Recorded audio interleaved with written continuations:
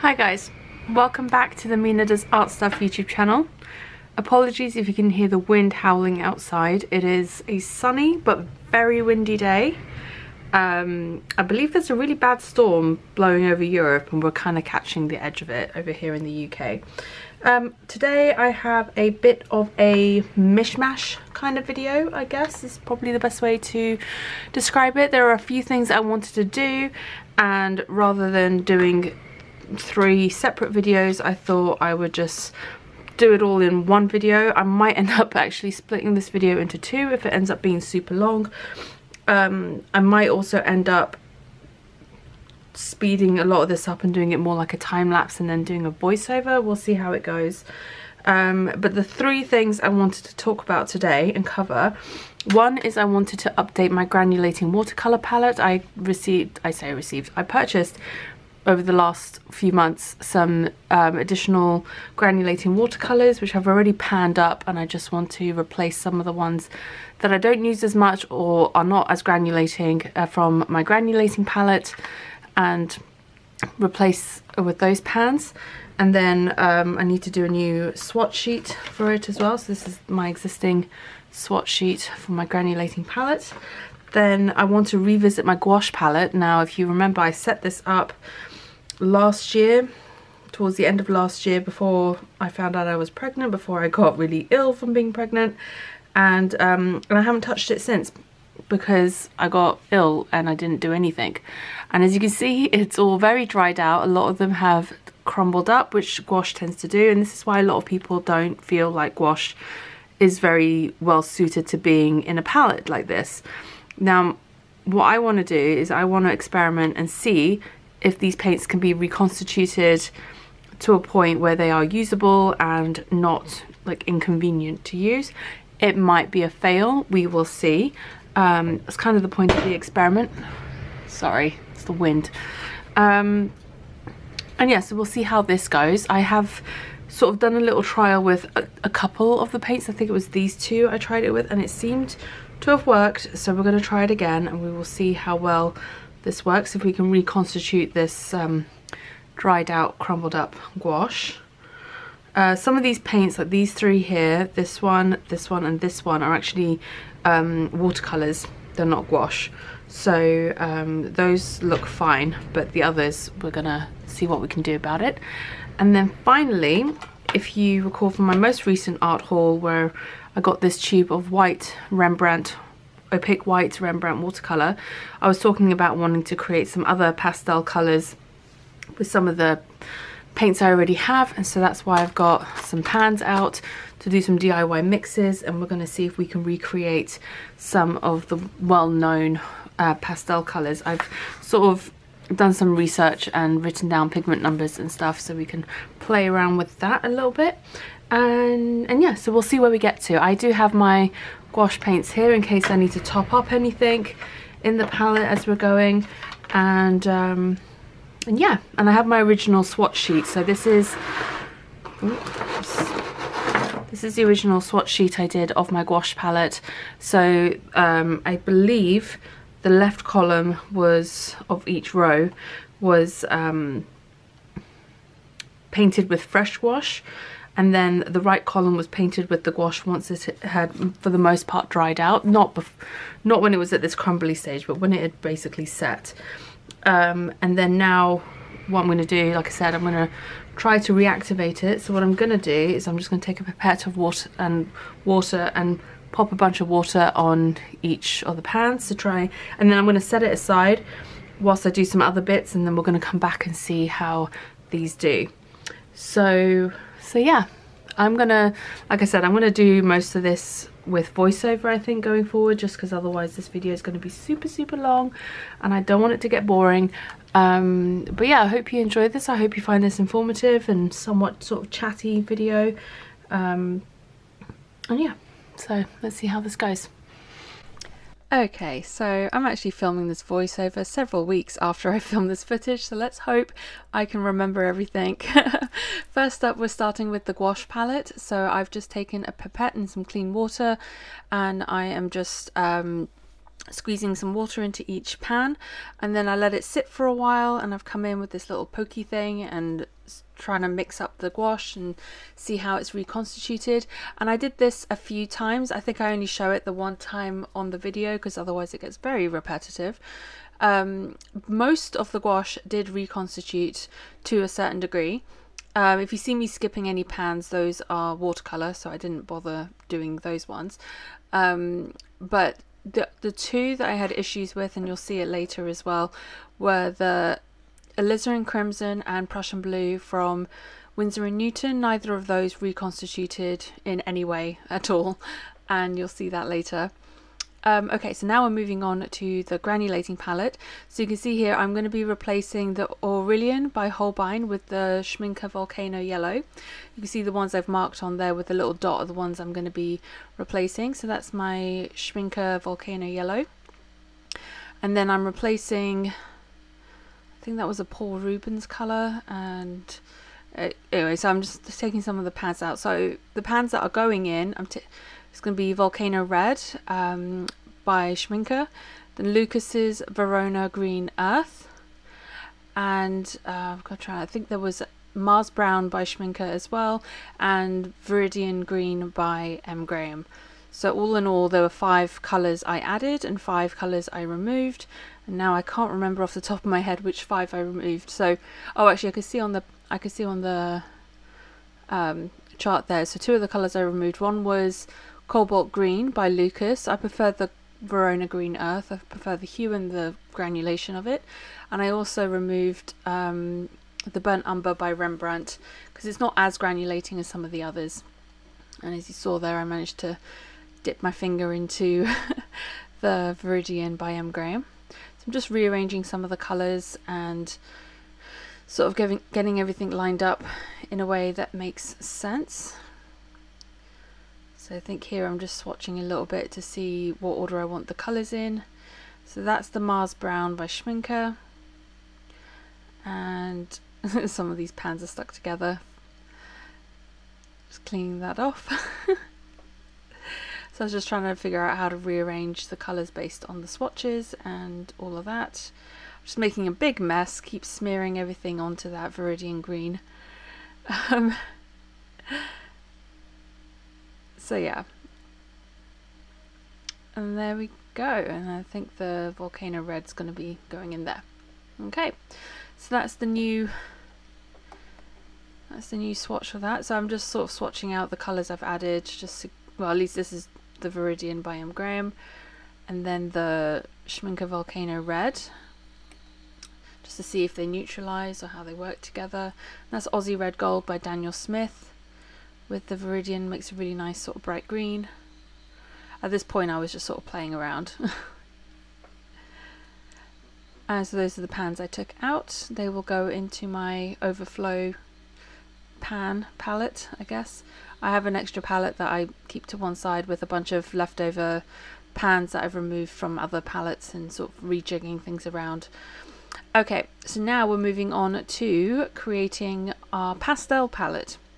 So I have a bunch of pastel paints from Shinhan. I have a Van Gogh Lavender and I have a Holbein Davy's Grey.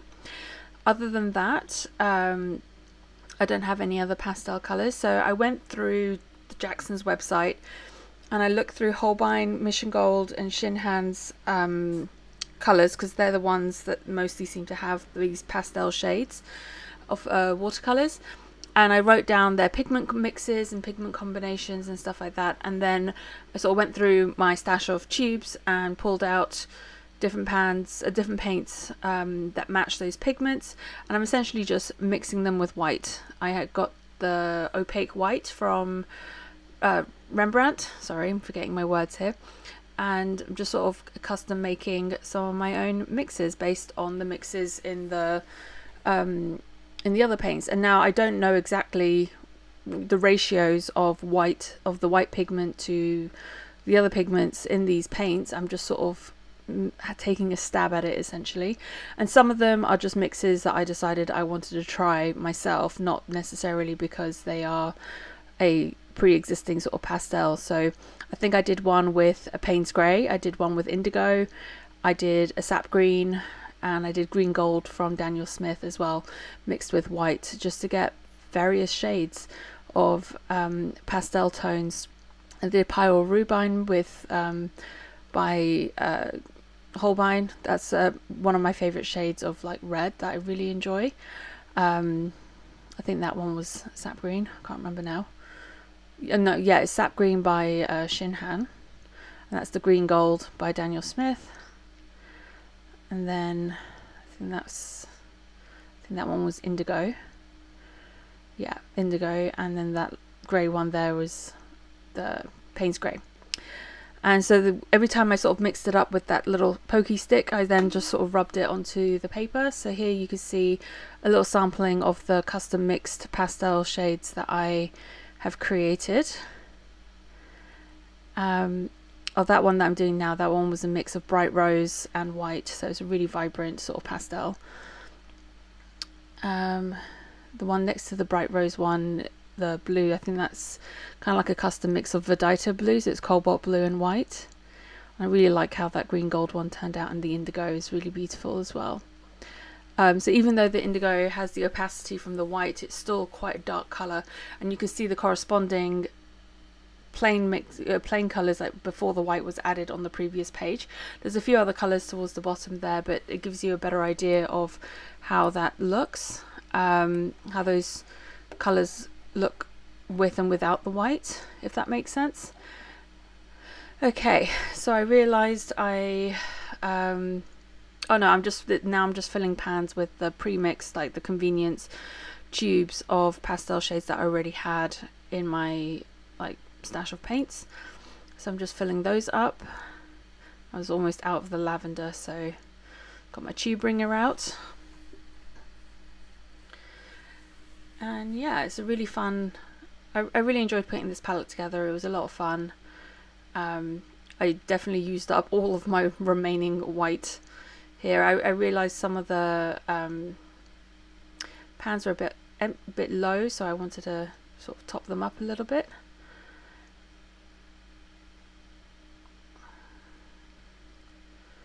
This little pokey thing that I'm using is actually a clay tool. Oh, it's really great for mixing paint because you don't have to like waste a lot of toothpicks.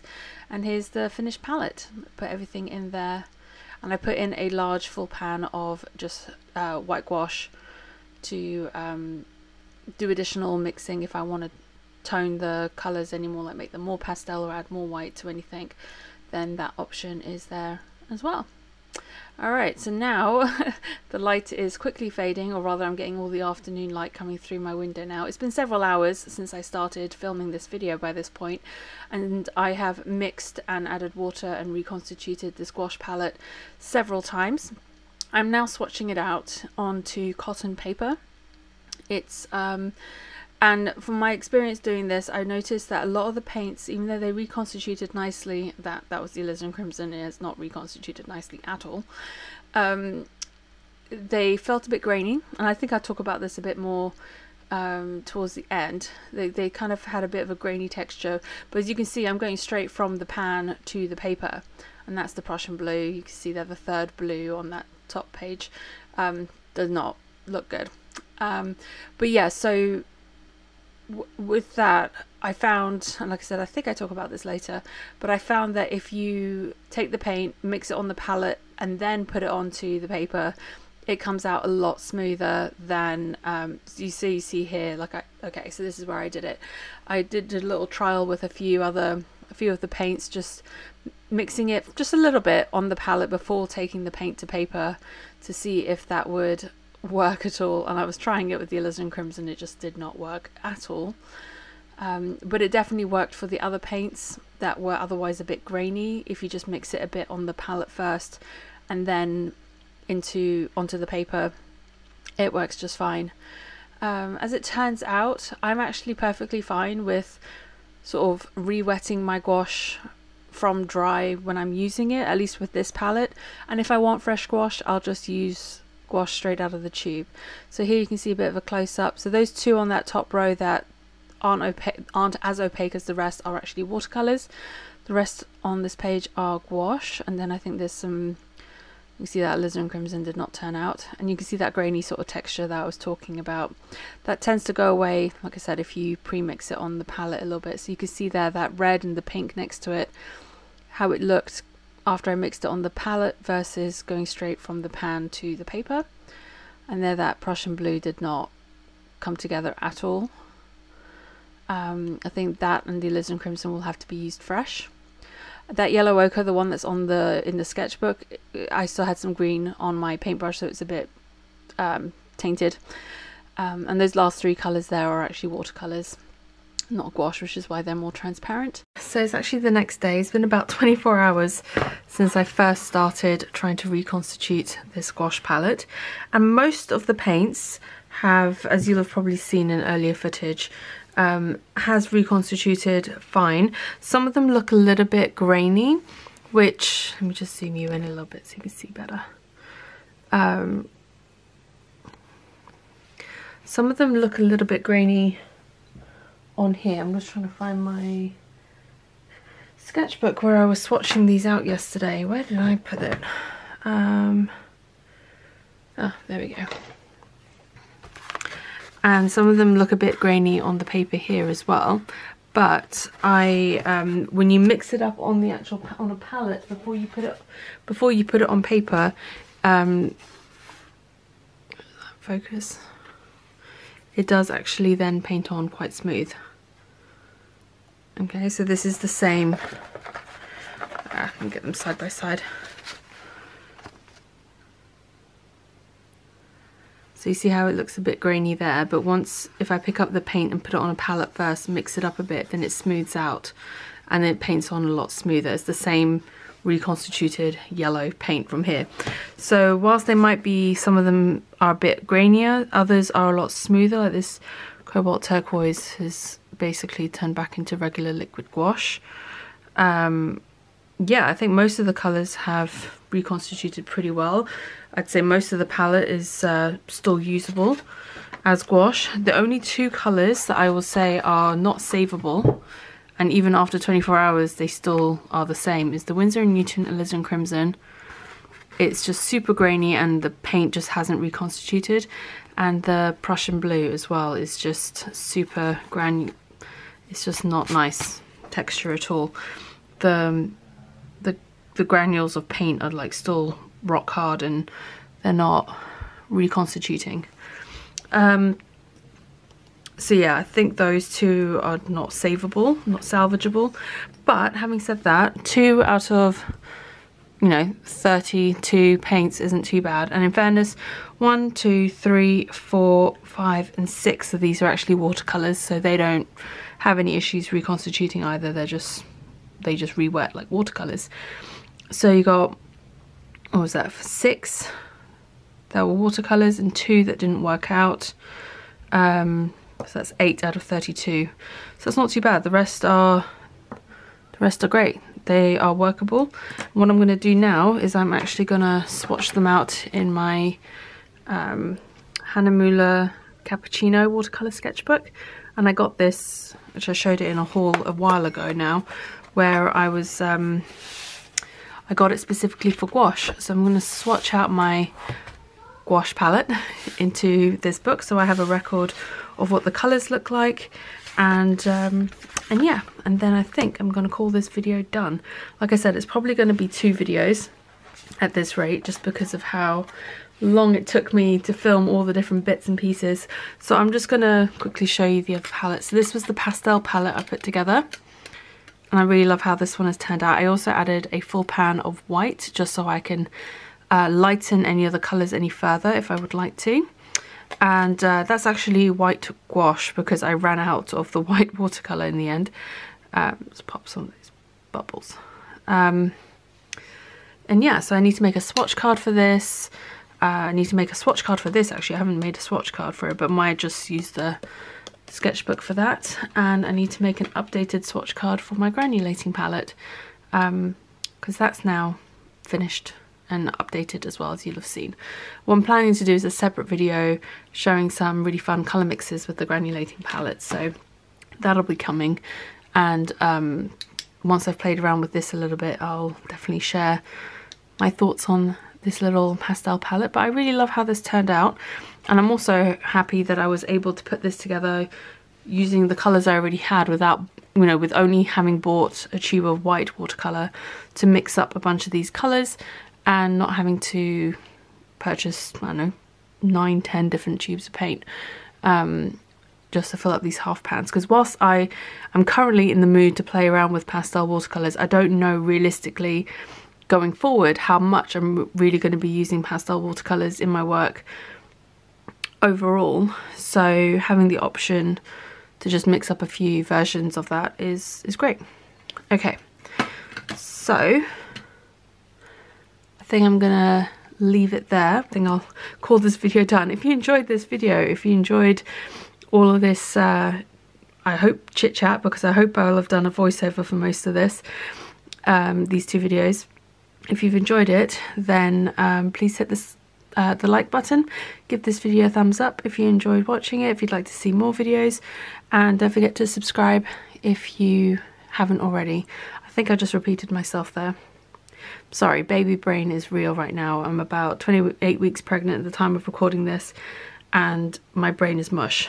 So, excuse me um, for that. Let me know your experiences with any of these types of palettes. Have you set up a pastel watercolor palette? Do you pan up your gouache or do you use it fresh? I'm interested to hear your thoughts and I will see you guys in the next one. All right, take care. Bye for now.